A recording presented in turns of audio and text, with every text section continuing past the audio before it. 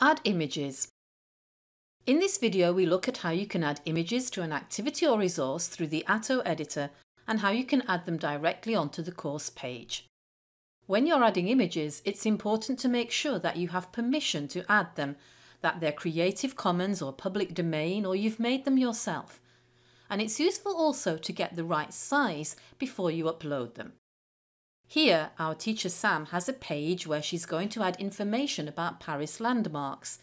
She has a public domain photograph of the Eiffel Tower in a Word document and she simply clicks on the image to select it, copies it and then pastes it into her page.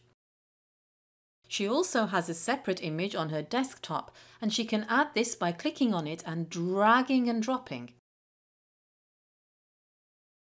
If drag and drop doesn't work for you, then you can manually upload an image from the image icon in the Atto toolbar. Click the icon, click Browse Repositories, upload a file and find your image. We either need to add a description or if the image is decorative only, tick the box and then when we save the image, it's displayed.